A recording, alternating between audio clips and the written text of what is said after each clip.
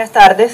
Un saludo especial a nuestro alcalde distrital, Rafael Alejandro Martínez, al alcalde local, César Mercado Durán, a los concejales y diputados presentes, secretarios de despacho, ediles, presidentes de la Junta de Acción Comunal, periodistas y comunidad en general.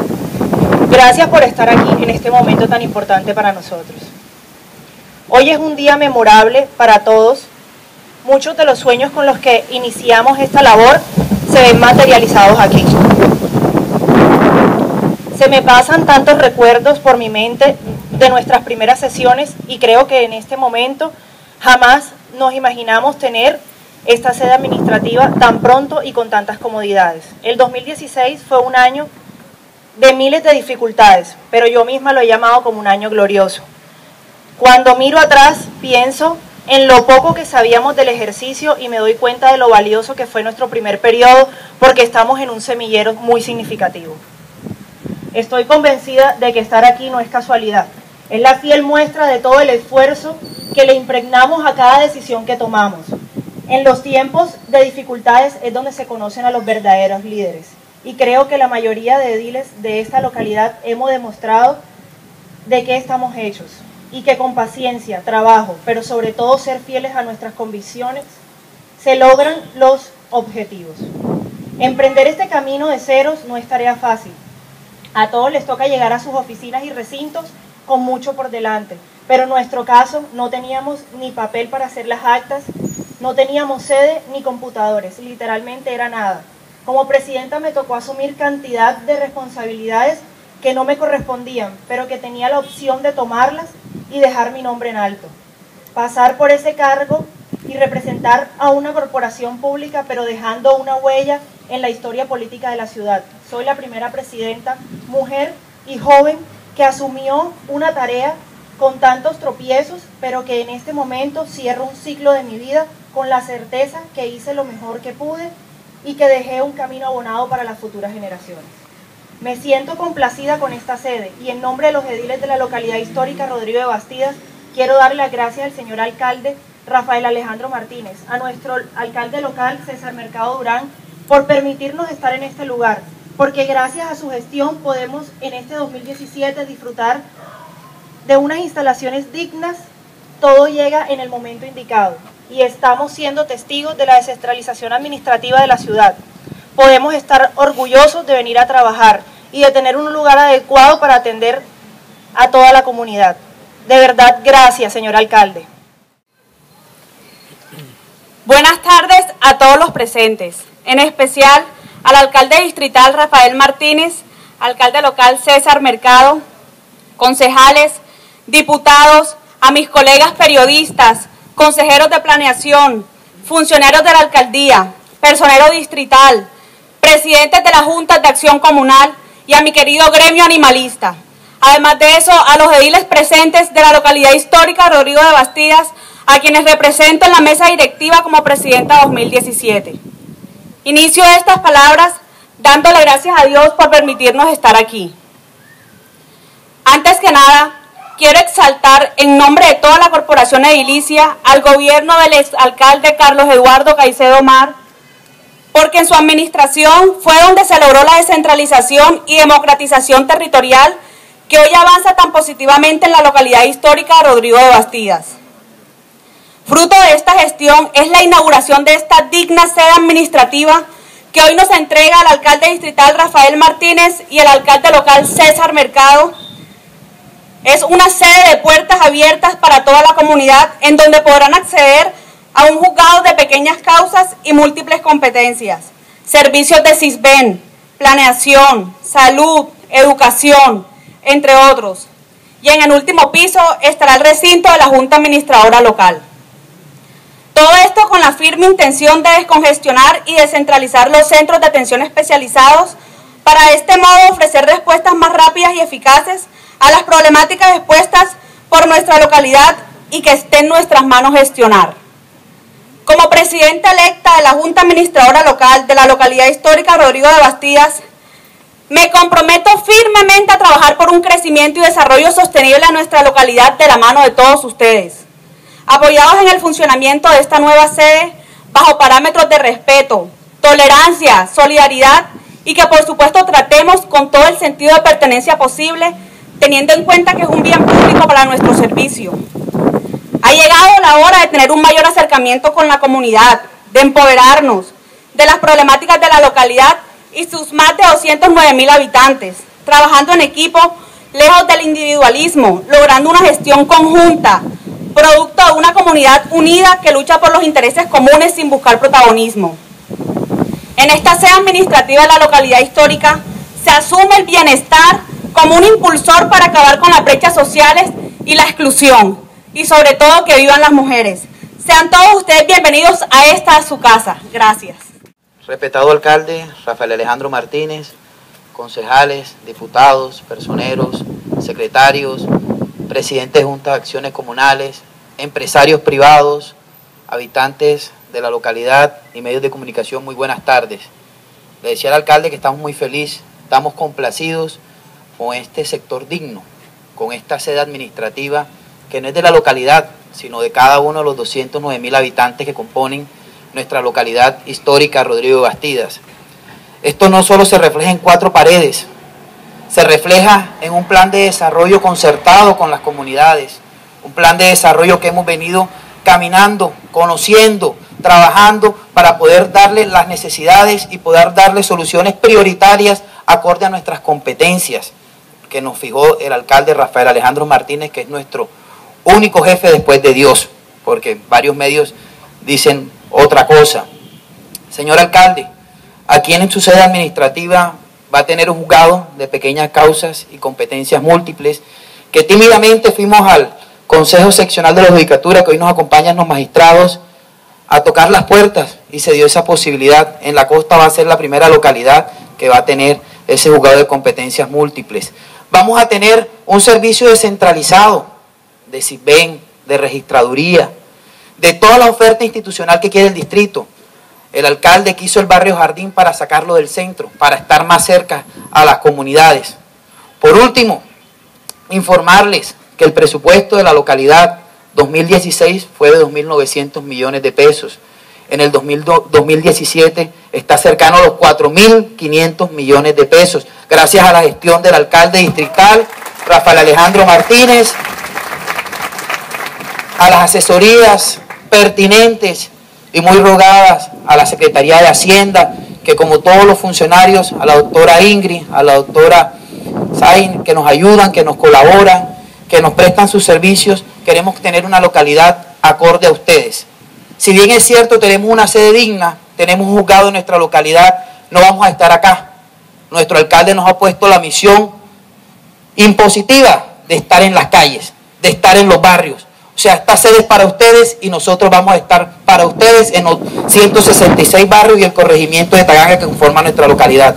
Muchas gracias y muchas gracias, alcalde, por cada uno de su respaldo y confianza hasta el momento. Yo también me sumo a la alegría y a la felicidad que hoy tienen los ediles, señor alcalde local, porque este es un sueño hecho realidad. Y esto es el reflejo de por dónde vamos en el fortalecimiento de la institucionalidad. Creo que para ninguno de ustedes es un secreto la precariedad institucional con que estaba la ciudad al estar en la 550, al haberse liquidado casi todas las entidades públicas. La ciudad ha crecido en los últimos años. Presidente, come saludo a los concejales que acaban de llegar, Juan Carlos. La ciudad ha crecido y realmente carecía de institucionalidad. Aún padece y carece de respuestas a las demandas de los ciudadanos. En el periodo anterior se crearon las localidades y aún estamos muy lejos de desarrollarlas a plenitud. Pero aquí vamos, y esta localidad, tengo que felicitar al doctor Mercado porque los alcaldes locales es el más dinámico, el más activo, el más comprometido y obviamente aquí están los resultados. Este es el resultado de un trabajo con liderazgo, con compromiso y trabajando articuladamente con la alcaldía mayor. Este evento no puedo desaprovecharlo para un poco también contar los desafíos que tenemos para este año. Creo que este es uno de los, de los primeros eventos que vamos este año y quiero decirle a todos que este año es un año movido, es un año en el que la ciudad puede pasar la página de una ciudad que entra al futuro. Estamos en pleno proceso de cambio, de transformación, obras por toda la ciudad que nos ponen a puertas de una ciudad moderna, pero que además nos permiten los Juegos Bolivarianos empezar a mostrarnos ante países que van a venir. 12 países han confirmado su presencia en los Juegos Bolivarianos, 5.000 preinscritos, que es la cifra de deportistas más alta que hayan tenido estos Juegos. De manera que este año va a ser un año cruzado completamente por los Juegos Bolivarianos. Y el compromiso que demandamos de todos y cada uno de quienes aquí habitamos. Los Juegos Bolivarianos no son de Rafael Martínez, no son del gobierno distrital, no son de una localidad, son de toda la ciudad.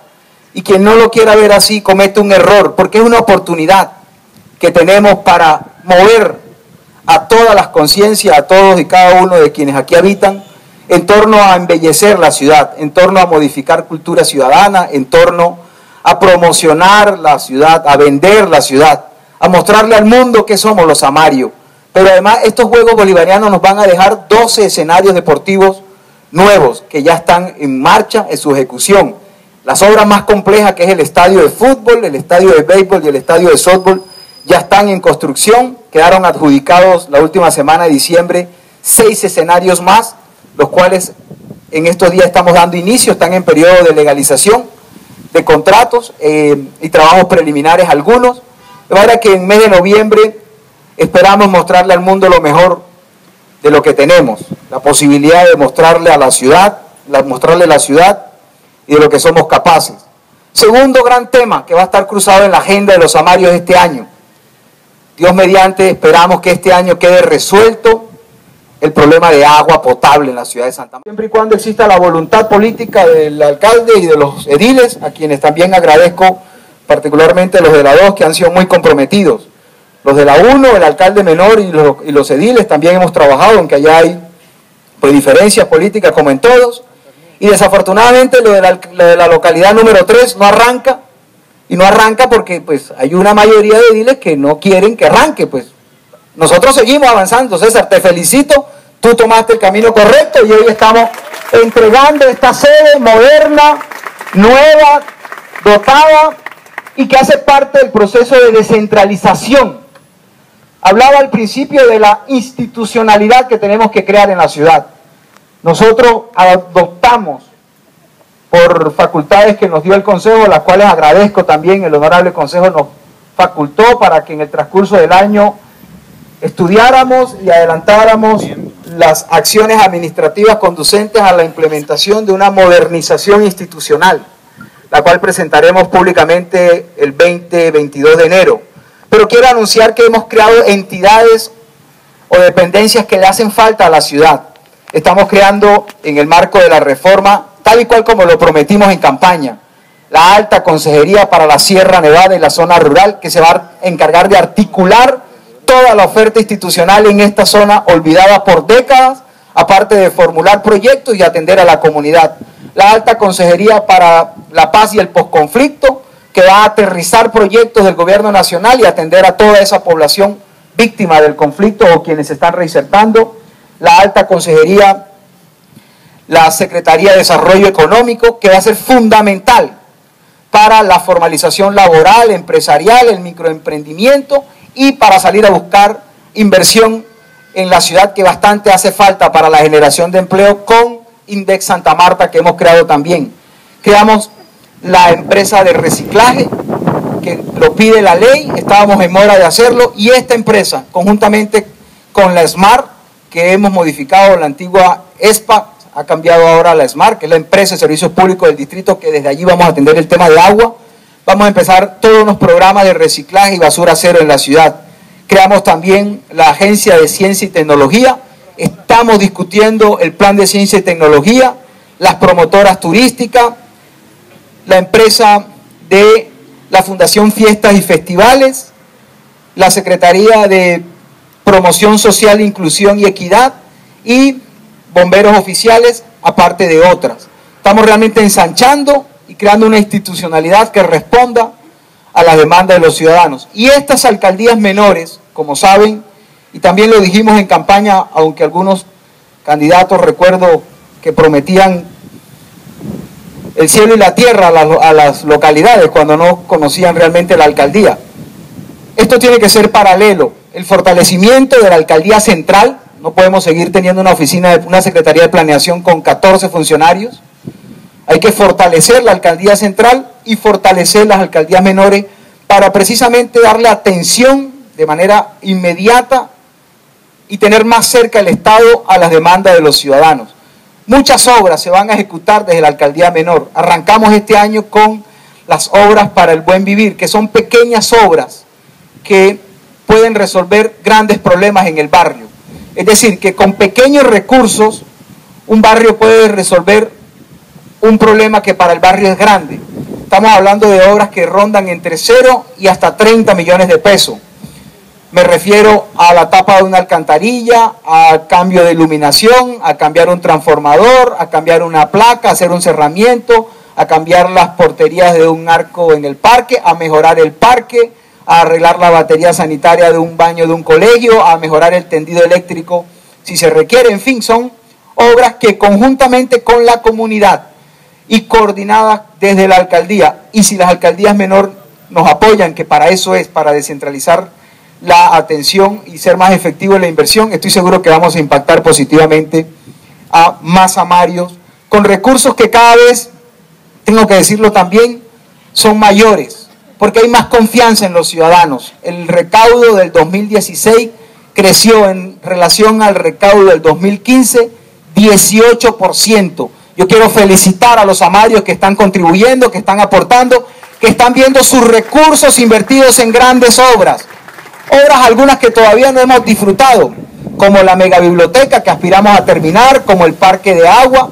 Ya vamos disfrutando la red de parques, vamos disfrutando las vías que vamos pavimentando por toda la ciudad y empezamos a estructurar grandes proyectos para que por alianzas público-privadas, porque estamos eh, estructurando tres grandes proyectos con iniciativa pública, que son el cable Santa Marta, Ciruma, Ciruma, Rodadero, la nueva, el nuevo centro administrativo y una nueva central de abasto mayoristas, aparte de una iniciativa privada completamente que está en prefactibilidad, que es la construcción de parqueaderos en el centro para empezar el proceso de recuperación del centro.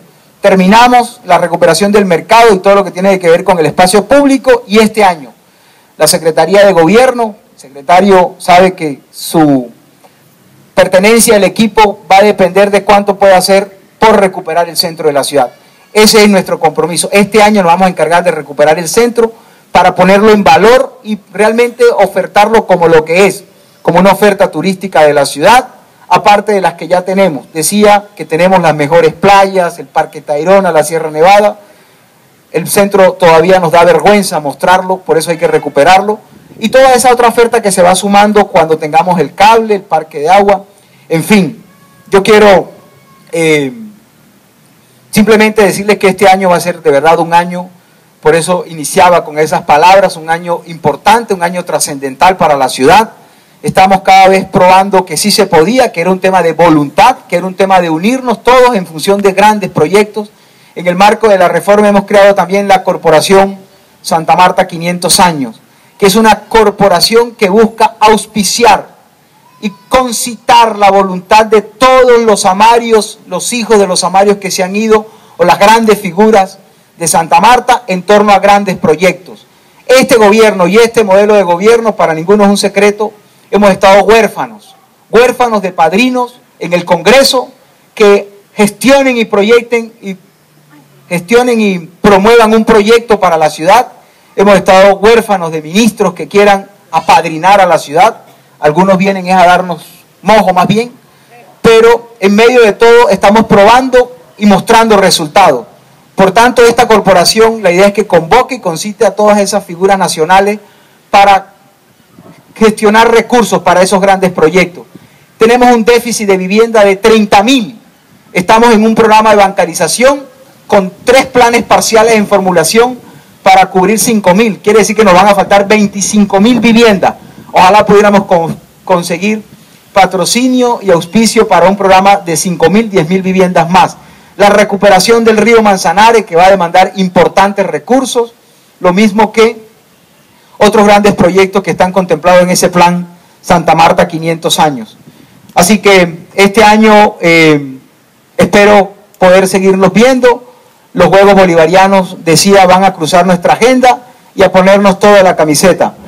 Y a visitar la sede de la alcaldía local número 2, que a, a quien agradezco a César, que además nos ha dado un espacio en la oficina, así que acá también estaremos no huyendo a los que nos buscan allá, sino despachando desde esta alcaldía y desde los barrios, que sí es cierto, le hemos dicho que un gobierno no se hace en las oficinas, en las oficinas están los burócratas, el gobierno se hace es en la calle, con la gente, con la gente resolviendo los problemas, escuchando de, de forma directa cuáles son y también hablando con la verdad. No todos los problemas los vamos a resolver en cuatro años y en ocho años, porque aquí hay problemas acumulados de décadas.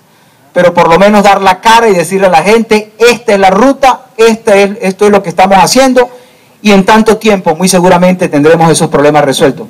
Así que disfruten esta sede y sigue nuestro compromiso, César, de que sigamos trabajando junto con los ediles para seguir cambiando a Santa Marta y que siga también cambiando la localidad. Muchas gracias.